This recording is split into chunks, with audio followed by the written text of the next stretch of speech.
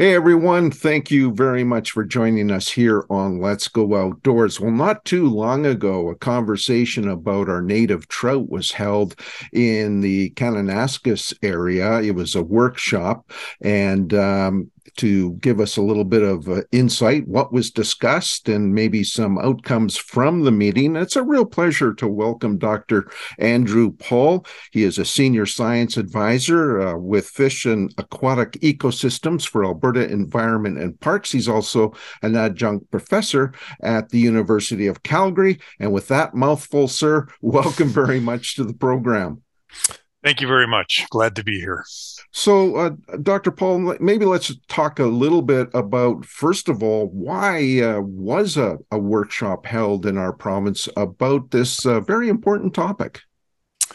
Um, yeah, great question. Um, you know, uh, I've got my my timing correctly. You know, about 30 years ago, uh, Trout Unlimited Canada organized um, a, a, couple of really influential workshops on on bull trout. That was right around the time bull trout were being listed as Alberta's provincial fish, uh, and concern had been growing over um, the, the, the status of um, of uh, our native trout in the in the province, uh, and those were fantastic workshops to get people together from not only Alberta but across Western Canada and the United States. We didn't have the capacity or ability to, to kind of pull together a, a really large workshop, but we wanted to get people doing science and research on native trout in Alberta together.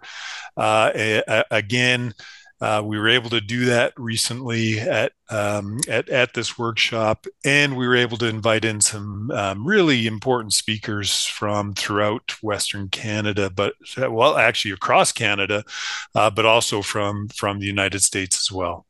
What is science doing right now in terms of providing solutions to the, the plight of, of native trout? I guess specifically here in Alberta, but as you mentioned, it's a it's a North American wide um, issue as a scientist, we we all are often looking towards the next question, and people can see well, science is not really giving us giving us answers; it's just producing more questions from it. Uh, and you know, we learned from this workshop there. Uh, the science is is informing us um, uh, so much in, in in native trout recovery. Again, it's not giving us concrete answers. There are still um, there's always will be uncertainty. There will always be, um, uh, you know, human-based decisions that are required as to what steps go forward. But the science is informing it. And maybe the best example I can give give you on on that is, um, you know, with respect to uh, uh, reintroductions of of um, uh, of native trout into watersheds, or the or even the movement sometimes of of native trout into uh, into new watersheds. Um, the science and in, in, in, and genetic understanding of, of native trout has been really critical um, to making the best informed decisions as to where trout might be moving around where certain actions might might take place where even where do we have um, you know pure pure strains of of some of the native trout, you know, especially um, uh, West Slope cutthroat trout, which uh, um, uh, with um, both introduced cutthroat trout, but also rainbow trout as well. So, knowing where we have pure strains of cutthroat trout, the science on the in the genetics uh, work there has really progressed uh, and allowed us to do um, well, uh, very important things. And that work has come out of uh, the University of of, of Montana uh, and and um, uh, the Fish and Wildlife uh, Division down in Montana. Real close collaboration between those two groups, and and we had uh, Dr. Ryan Kovach, who was with um, Montana.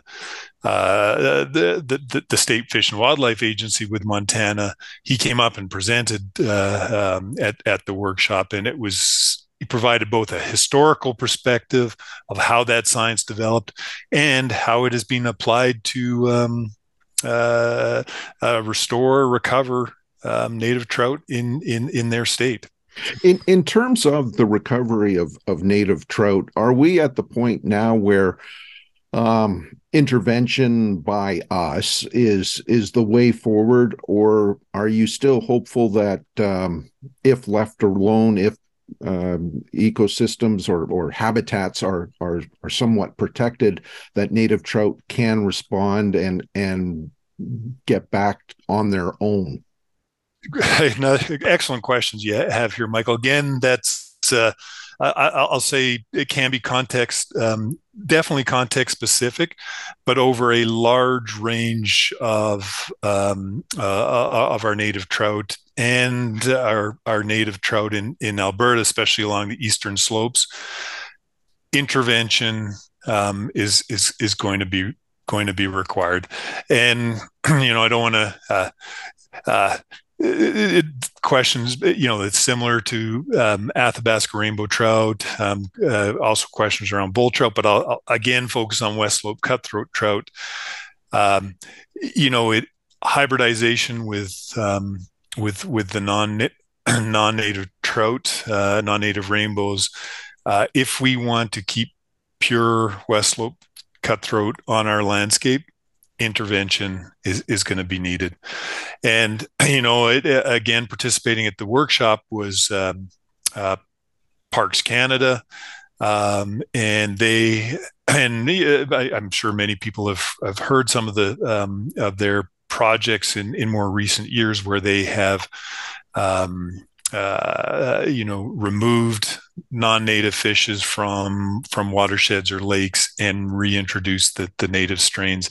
And, and so, if you think of Parks Canada, um, you know, they're uh, the level of habitat development or habitat disturbance is, is lower there. They can, um, uh, you know, uh, regulate their fisheries um, uh, to meet uh, particular goals of, of the park.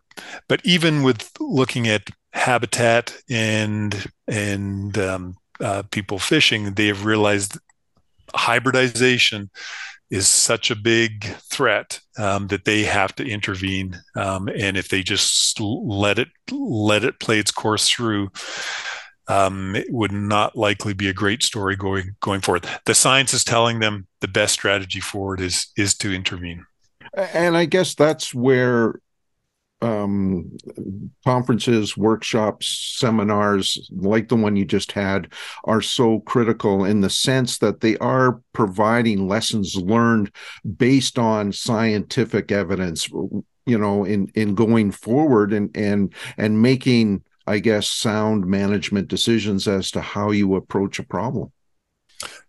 Absolutely uh, correct. Um, you know we had uh, uh, um, two retired folks actually from uh, the, the, the state of Montana um, fisheries program, and they talked about their um, removal projects, uh, largely using um, uh, uh um, pesticides, so chemicals to remove remove fish, and they have been doing it for.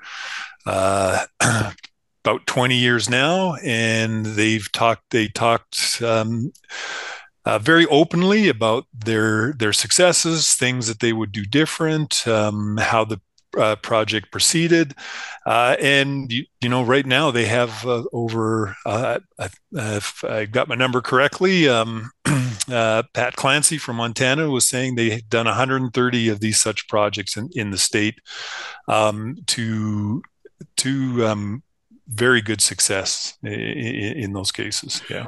So when it comes to to Alberta, are we at, a at a I don't know what a crossroad or at a, a pivotal point in time where if um, and and and again I'm sticking to the to the science end of this, but are are we getting close to um, turning a corner in in seeing a, a brighter future for our native trout species, or is there still a lot of obviously a lot of work to be done? there's still a lot of work to be done, um, um, Michael. But uh, uh, the first part of this, the, the workshop, um, and it was, it was, kind of an interesting format. Uh, we had the, the Wednesday afternoon when we started, we had before we had our invited speakers, um, uh, uh, you know, talk about different aspects of science and new cutting edge. We we wanted to see a review of different um, native trout research projects going on in Alberta, and turned turned out we had 27 folks that wanted to speak uh, on on that, which was you know really exciting um, but also a full agenda. So what we did was a, uh, they called a speed speed rounds where everyone gave a five minute presentation, just a quick, almost an elevator speech on what what the research is, what the recovery is, and uh, that was really very illuminating. And you know, it it, it shows the the great work that is going on in Alberta right now, both on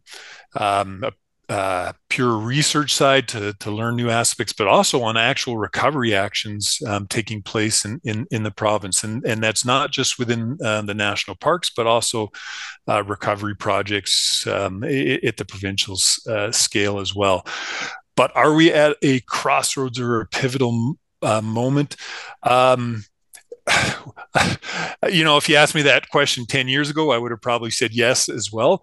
But I think we are at a pivotal pivotal stage now where, you know, um, there's enough backing from other jurisdictions that have taken some pretty major steps and and and crossed some pretty large hurdles um, to to put these uh, you know actually intervene and and work toward recovery that we now in the province have that that knowledge and that input that we can work with and and go forward. So, I I would like to say we're at a pivotal pivotal point now, and we're seeing some of that work um, really uh, uh, begin to play through in, in the province, where there be some really exciting habitat work that uh, uh, has occurred, um, you know, west of Rock, uh, the Rocky Mountain House area or in, in, that area, uh, or some really exciting work on developing um, uh, brood stocks for for being able to, to stock the right genetics um, of of West Slope cutthroat in, in in new waters and and how that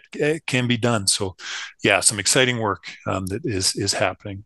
Well, it certainly is very optimistic to hear that so many people are are turning their attention to um, the Alberta native trout question. Um, certainly, uh, there are. Uh, it, it, sounds like organizations, groups, government governments um, are are also taking the issue very seriously, and and perhaps we're paving a way uh, forward to seeing native trout remain uh, part of our freshwater resources. Dr. Paul, we'll leave it there for right now, but uh, thank you so much for your time, and look forward to uh, touching base with you again soon to to find out some of the newer developments that are taking place uh, on this very uh, interesting topic thanks very much, and um, uh, really excited to have you uh, uh, talk about native trout in the province. We want them here for the future.